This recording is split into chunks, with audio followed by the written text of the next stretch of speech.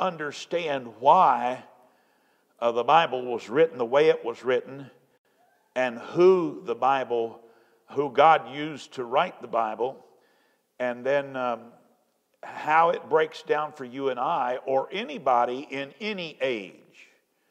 And if you can learn to uh, find the divisions that are properly given in the Word of God, you will be light years ahead of the average casual Bible reader. And things will begin to make good sense. Matter of fact, more sense than they've ever made before in your life. So I've entitled uh, lesson number one in the beginning because we want to start in the beginning. And uh, we started a Bible Institute here some probably a year now. I don't know. Hoosier Hills, three years ago. oh, okay three years ago, Jeremiah's helping me out. Pastor Tom wanted to do that. We got that up and running, and uh, we did that for a while till this epidemic thing caught us, and we kind of took a furlough. And I thought, you know what, we could begin to incorporate this back into our structured service. So this morning, you are at Hoosier Hills Bible Institute 101, and we're going to start a series of lessons for that class it's our Sunday school hour.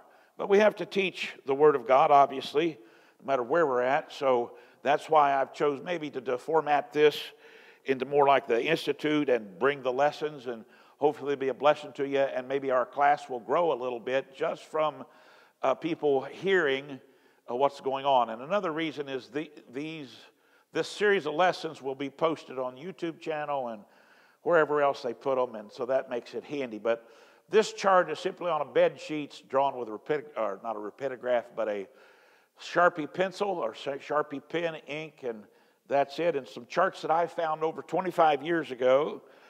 And uh, I've adapted them to these lessons, and uh, I've uh, used them throughout the years. Uh, my daughter in law is here, and my granddaughter's here. They probably remember the first charts that we had at uh, First Baptist Church in Blooming Grove, and they spun all the way around the church. Our church wasn't this big, and we had that chart. People would come in there and they say, "What in the world is going on here?"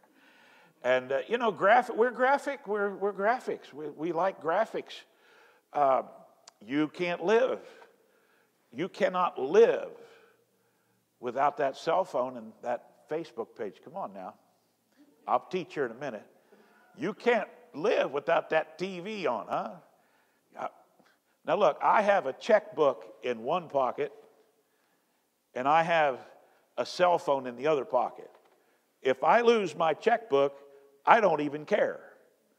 Boy, if I lose that cell phone, hey, have you seen my phone? Where's my phone? Where's my phone? I don't. What is that? I don't know.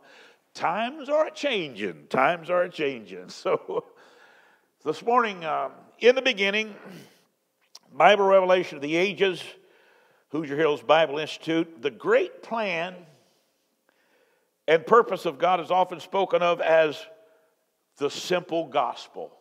And, and that's true. Uh, so simple that none, no man, no person need err in its simplicity and its truth. Now, think about that for a minute. That's God made salvation so simple that if you should hear the plan and the Spirit bear witness to that plan, and He will, that you shouldn't miss getting saved, especially not in America today. For the entrance of God's word bringeth light. Brother, when that word goes out, it begins to illuminate. And, uh, and truly, the, the first revelation that illuminate the seeking soul is simple, clear cut, non biased, very familiar, most familiar. Truth, uh, above all things, that's the plan of salvation. And if I could teach all this stuff, get it backwards and forwards, rightly divide my Bible, and do all those things and fail to tell somebody how to get saved, I've missed the whole point of what's going on here today. This may seem overwhelming when you see all the charts and all the verses and everything, but believe me, once a person gets saved, they're like a newborn babe. They desire the sincere milk of the word that they may grow thereby. And just as Pastor gave testimony when he began to study the Word of God, some people get saved early and study late.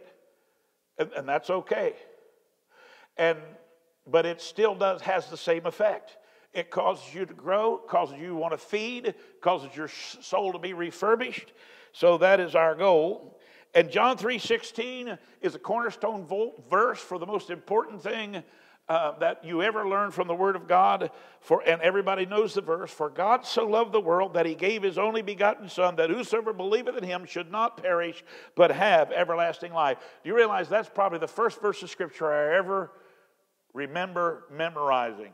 And then possibly my mother taught it to me. I'm not sure, but I would say she did because I remember trying to quote it uh, when I was a pretty small child before I ever got saved. And then I got saved later. But that verse speaks about God. If you see on my little chart, says, In the beginning, God created the heaven and the earth, Genesis 1 1. Brother, if you don't get that thing right, God, you won't get nothing right. So, there's enough gospel or good news, we call it the good news, in this one declaration, John 3:16, in this one declaration of truth to give every last one of Adam's race a passport to heaven. And people say, wow, you know, I, I, and we live in America and you can buy a Bible about any dime store. It used to be a dime store, now it's a dollar store, I guess. And uh, but you can still find them, and we get them and we buy them. We find a King James Bible, we buy them, we give them away, so on and so forth. But uh, that's interesting. But here, a passport to heaven is through the Lord Jesus Christ, the finished work, which happens way late in history.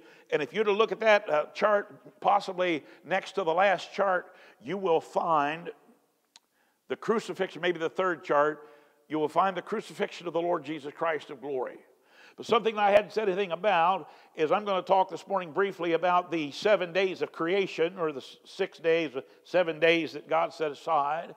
And I won't get into chart number two, but chart number two, that big old black hole in there is what's wrong with mankind. That's called the fall of man. But soon as you get past that fall and you see the curse, and that thing, there's a thin red line and I just checkerboarded it that goes all the way through that chart, all the way through, all the way through, all the way through. And that, that thing represents the promise. In Genesis chapter 3, verse 15, he talked about the seed that would come. And brother, that seed goes from there all the way through that thing, all the way through uh, the Noah's, Noah's period, the Tower of Babel, right on through, all the way to the cross, where that seed is the Lord Jesus Christ. So the focal point of this whole thing is to know more about the Lord Jesus Christ and His Word that He put together for us.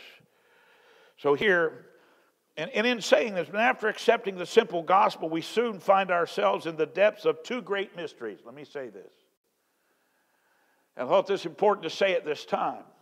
Because once you get saved, now if you're a child, I understand. You're, hey, I'm going to heaven. It's good. All's good. And you don't know. I didn't know. Somebody say, You going to heaven or hell? I'm going to heaven, man. I got saved, but I couldn't tell you nothing else about anything else because I didn't know anything else. And it's possible to be saved and not have any Bible knowledge or understanding because you have the knowledge of good and evil and you've trusted Christ and heard that simple plan and gotten saved.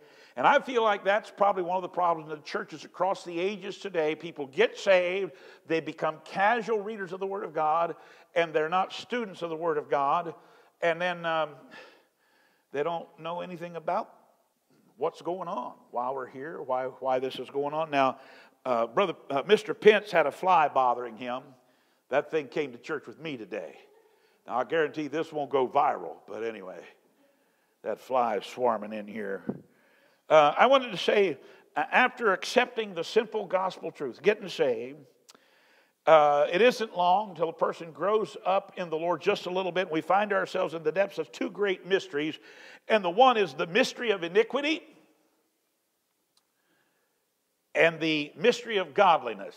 If you can maintain that thought. Those are the two things that'll cause you more issues and more troubles and more problems as a Christian uh, because you'll be pulled toward the, the mystery of iniquity and not understand it. But the Holy Ghost of God will try to pull you toward the mystery of godliness, which the Bible speaks of. We taught a whole series of lessons on the seven mysteries in the Word of God, or eight or nine, or however many you want to find. The Bible is the most profound book accessible to man. You just stop and think about that for a moment. We've got books laying over here. We've got books here. A lot of them song books, but you go into any library and look at the books in our little library here uh, in Dearborn County. Uh, and there's tons of books and tons of books and tons of books. You get online, there are tons of books and tons of books if you shop online. But here, the Bible is the most profound book accessible to man. Number one,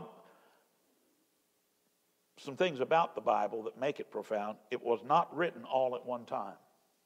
Uh, well, there, you say there's plenty of books that have been written on, not like the Bible. Uh, it took 1,500 years to complete the Bible. So, from Genesis 1 1 to the last chapter and the last verse of the book of Revelation, at the end chart, there's 15, at least a span of 1,500 years uh, to write that history and that wisdom that God penned down. It has, it has 40 Holy Ghost inspired writers. They, they were not men of uh, secular education, they were men of God. So the Bible is the most profound book accessible to man, so that's why it's fun to study it. That's why it yields more to mankind than any other book on the face of the earth. It has more truth, uh, more sense to the saved man than any other book. So there's no shortcut to profitable Bible study. People, oh, I, okay, I got saved. I read the Bible through one time. I got it. I'm good. I, you'll never exhaust this book. It's a supernatural book. We put the emphasis on the Word of God here at Hope Baptist Church, as many other Bible believing churches do. Do we live by every jot and tittle? No, we're just human like anybody else, but at least we have the good sense to know it is the, the infallible, inerrant Word of God. And I speak of the King James Bible, the AV 1611. So here it is when you study the scriptures, when you try to learn something about what God has recorded for us and set forth before us, it is accomplished by comparing scripture with scripture. And we got that uh, from the teachings of the Apostle Paul. We got that from the prophet Isaiah. We got that from the man David. And let me choose one. Let's go with Isaiah chapter 28, verse 13. It's not on the chart. This is kind of preliminary to get me started to teach, teach these things. In Isaiah 28, verse 13, the Bible says this But the word of the Lord was unto them precept upon precept, precept upon precept, line upon line, line upon line. You say, What is that? That's scripture with scripture. And, brother, it was said already before I began the class, but, Pastor, that the best commentary on the Word of God is the Word of God. We were taught in Bible classes when we took Bible classes a hundred years ago. It's okay to read these other books. It's okay to study other men's ideas. But you better keep your Bible in one hand and then that, that, that book you got in the other and allow the Holy Spirit to guide you through the truth, because every writer, every man, anybody on the face of the earth, except the writers of the Word of God, are subject to make mistakes and errors. But the Holy Spirit of God, who is our real teacher, never makes any mistakes. And when he's saying, you're looking at this guy's work and say, well, he said this one over here. Let's see. But the Bible says over here, and the Holy Ghost says, yeah, stick with the Bible. And so you've learned something, but you've also learned you can trust the Word of God. So uh, that, that's our, for, our forefront, our format for ever studying the Word of God. Well, then, will the Spirit that reveals and the Word that is written agree? That's the only time it will if you compare Scripture with Scripture. Uh, so, to get the best out of the Bible revelation, we must be students of the Word of God, which I'd like to think that we are. My thrust in my life and my ministry has been to teach the Word of God. I'm a preacher. I love preaching the Word of God. But There's something about teaching the Word of God that is so necessary in these late days that we live. You say, why? Well, number one, it'll help you to be a better Christian. Number two, it'll help you be a better witness. Number three, it'll prepare you if God should call you to go someplace to minister. It'll help you. Um, so that's our thrust. So here, there's nowhere a basic background that is once seen, even though dimly, will make the revelation that follows much easier to understand than the principle of going verse by verse. And although it is a dark background, sometimes people say, well, you know, I can't understand all this, I can't get it all.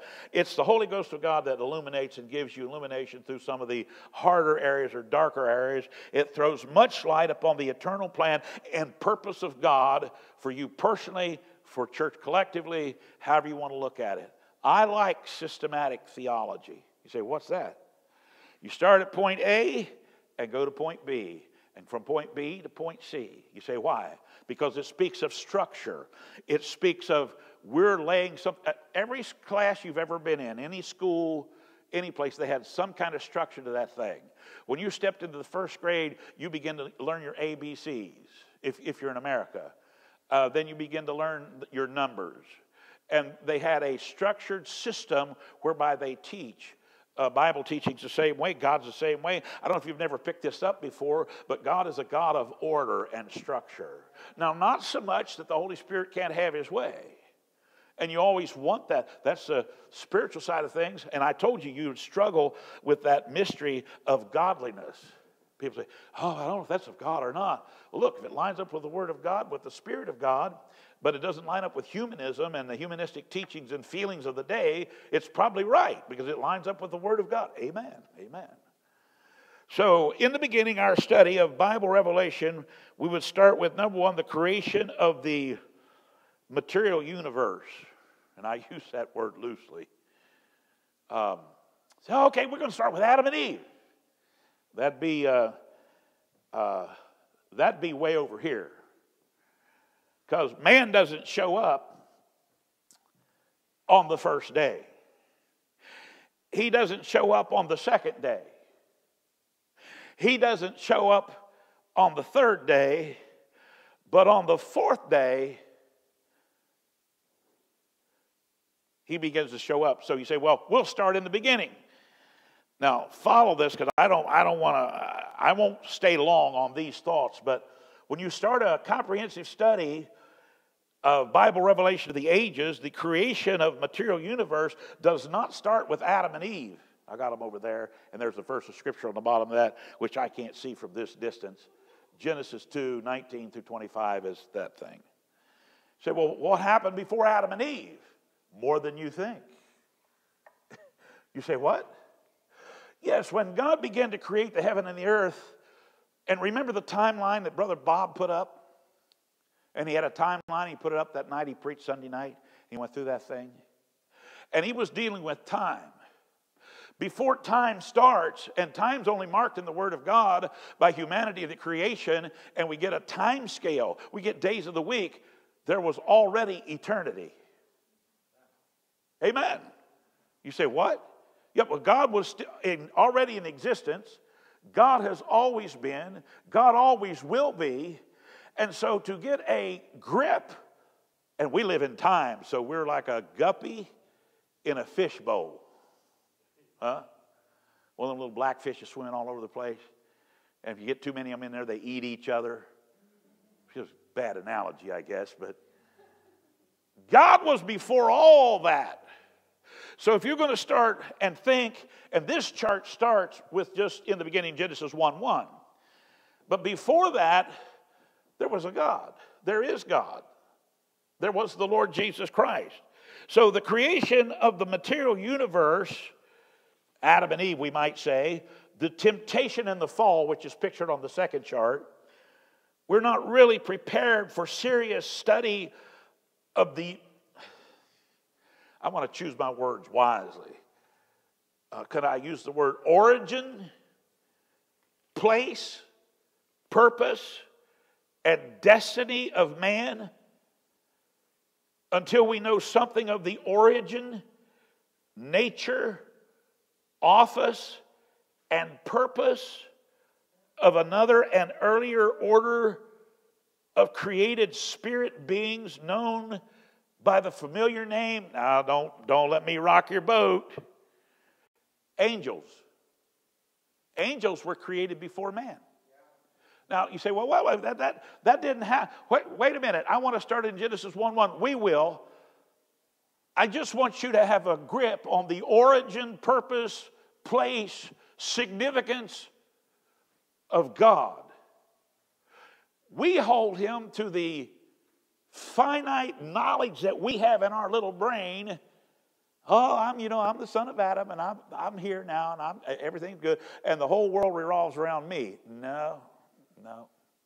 Oh, the whole universe revolves around it? No, no. There's a whole lot more going on than just Adam and Eve before creation in Genesis 1 1. Oh, what I'm trying to get you to see is how awesome God really is. And we won't spend a lot of time with that. And believe it or not, I have a chart on that. But man, we're probably not ready for that one yet. I would rather preach on the revelation one. Amen. yeah, I see it clear. Man, it's hard for me to look back because there's not a lot in the Word of God, but there are some things. So, here, uh, if we get a grasp on how awesome God is, or the nature and office and purpose of another and or we just think about the fact that we are not the first created creatures that God created. There was an angelic force created before us. Now, I'm not going to say a lot about that because you know people teach on the gap theory, pro con. It's just that, a theory because God chose not to give us a lot of light on it. But He did give us a lot of light on Genesis chapter 1 to Revelations chapter 22. Amen. And we struggle with just getting our mind wrapped around that. So, uh, here this morning, I want you to know that there's a lot going on before God ever, ever started the creation of the universe. So it's important to know something of their relation to God or these, this angelic host, just a little, uh, to man and to the world, for it was through one of their number, let me make this point, I'll just make this point. Through one of their number, a fallen, cast out angel, that man was seduced to sin against the Creator. You see, on chart number two, which we're not looking at this morning, I have a serpent drawn right before the fall. And that serpent's representation of the devil himself. You say, what is he? Well, you got your Bible there. We'll lay this groundwork down, and that'll set the stage to be able to teach this stuff. Satan, that old serpent, the devil. Uh, Genesis chapter 3, verse 1 says it like this Now the serpent was more subtle, subtle than any beast of the field which the Lord had made. And he said unto the woman, Yea, hath God said, Ye shall not eat of every tree of the garden. And we're very familiar with those passages because it's the Word of God. But in the book of Revelations, chapter 20, verse 2, and I told you we're going to take it from Genesis to Revelation, we'll try to fill in the blanks. Not all in one lesson, obviously. But in verse 2 of chapter 20, and he laid hold on the dragon, that old serpent, which is the devil, and Satan and bound him a thousand years. So the serpent shows up in Genesis chapter 3, uh, and then he shows up in Revelation, and he's always identified as that old serpent or the devil or Satan, or if you please, Lucifer himself. You realize he was around before Adam and Eve was ever created? Now, didn't I tell you that once you get saved, there'll be some questions arise in your adult life, maybe not in your child life, because children don't ask these kind of questions, but adults could if they get around Bible teaching or Bible preaching. And I said that you would you would have questions about the great the, the two great mysteries, and there's seven mysteries, but the two great mysteries that you'll have to deal with personally is the mystery of iniquity, that old serpent, and the mystery of godliness, the Holy Ghost of God in you. Amen.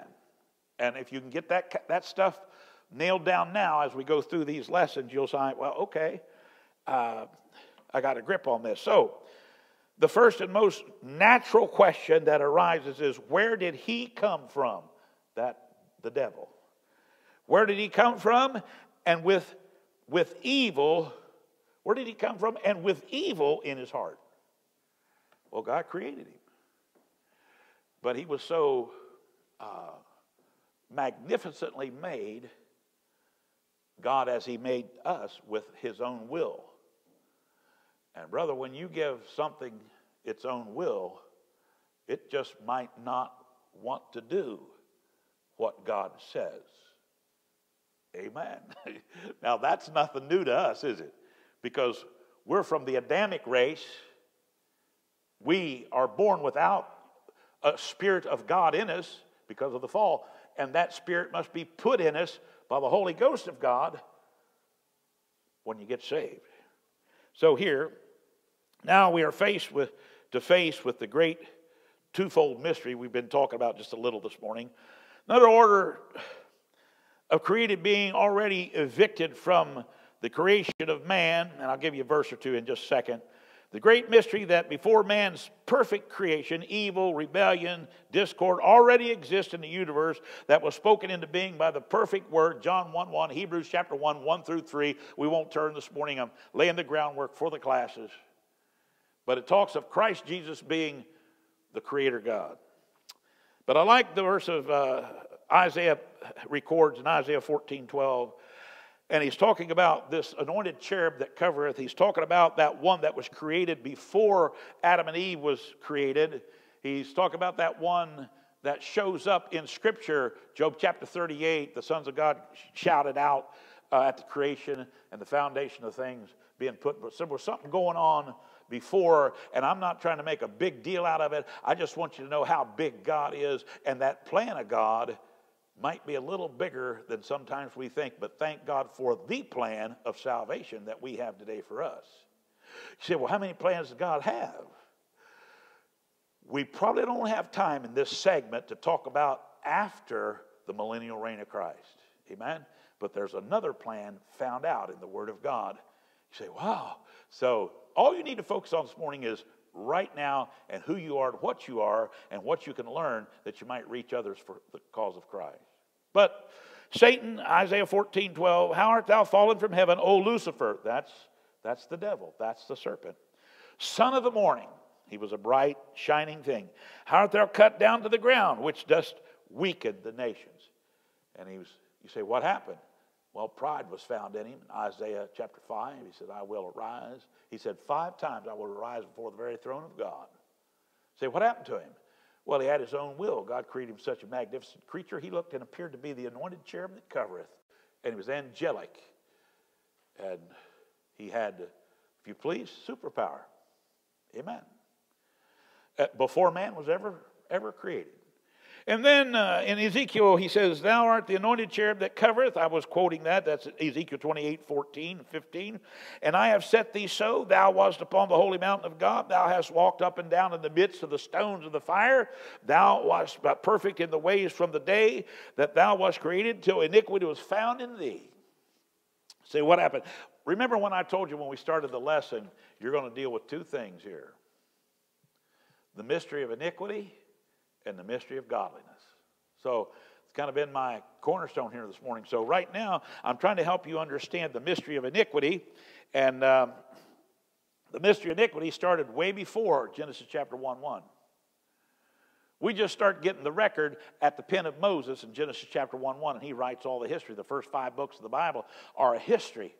And by the way, the book of Genesis is so put together that if you get the principles and precepts of the book of Genesis and even the numerology, not even talking about the, the theology, if you get the numerology down, it is the format for understanding and getting a grip on the Word of God. Oh, you're one of those guys. You're gonna, gonna chop it up into a hundred pieces. No, I'm not an ultra dispensationalist. I'm not a hyper dispensationalist, but I am a dispensationalist. You say, why? Because God is a God of dispensations or time periods or ages. There was an age before Genesis 1. There's this age that we're in. Hence, the title to my lesson today was simply uh, Bible revelation of the ages. And these courses are going to, uh, they're going to include uh, from Genesis to basically Revelation, an overview of simply understanding the Word of God through the concept of dispensational teaching. And the word dispensation is a word chosen by the Holy Ghost of God and penned in the book of Ephesians so that nobody can say, well, that word isn't even in the Bible. Yes, it is. And the definition is clear. You say, well, divisions, what are you talking about? This chart lays down the seven days of the week. God works by sevens. And I'm uh, I keep looking back there, I keep looking over there. There's that clock. Got it. So God works in order. And by the way, there are seven days in a week. There are seven churches mentioned in the book of Revelations. And we can go through the series of sevens all the way through. There's seven holes in your head if you don't have piercings. You got piercings, you got a couple more holes. There's seven bones in your ankle say, what are you talking about? I'm talking about God's going to take a period, and, and the Jew always counted by sevens, Gentiles count by tens, and the principle of sevens is set forth, and the number eight is the number of new beginning if you study numerology, and they, they should be eight charts one, two, three, four, five, six, seven, eight charts. And eighth is a picture of the new beginning, the millennial reign of Christ, that thousand years. So, man, hang on. We're in for a ride. Pastor, you got comments or anything this morning before I close out? All right. Let's pray. Thank you for the first class. And I'll be out next Sunday. I'm at Hope Baptist Church in uh, uh, Rushville, Indiana, preaching their homecoming up there. I apologize, so I won't be here next Sunday. And I'll take my chart because they want to hear some of this stuff too. Let's pray. Father, we thank you for this morning. We thank you for a chance to teach and preach your word. Bless our congregation, our singing, our preaching, our offerings, everything that we do. Uh, may it bless thee. In Jesus' name we, we pray. Amen. Amen.